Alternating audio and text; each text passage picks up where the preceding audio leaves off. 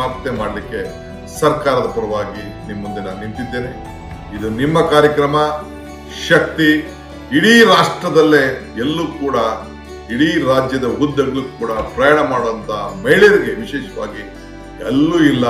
ಅದು ಕರ್ನಾಟಕ ರಾಜ್ಯದಲ್ಲಿ ನಾವು ಪ್ರಾರಂಭ ಮಾಡ್ತಾ ಇದ್ದೇವೆ. ಉಪಯೋಗಿಸ್ಕೊಳ್ಳಿ. ಕೊಟ್ಟ ಮಾತನ್ನ ಉಳಿಸ್ಕೊಂಡಿದ್ದೇವೆ.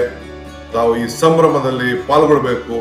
ಈ ಶುಭ ಸಂದೇಶವನ್ನ ಎಲ್ಲರೂ ಕೂಡ ತಿಳಿಸ್ಬೇಕು ಅಂತೇಳಿ ನಾನು ನಮ್ರತೆಯಿಂದ ಮನವಿ ಮಾಡ್ತಾ ಇದ್ದೇನೆ. ನಮಸ್ಕಾರ. ಮಾತು ತಪ್ಪದ ಸರ್ಕಾರ ಮಹಿಳೆಯರಿಗೆ ಉಚಿತ ಸಂಚಾರ.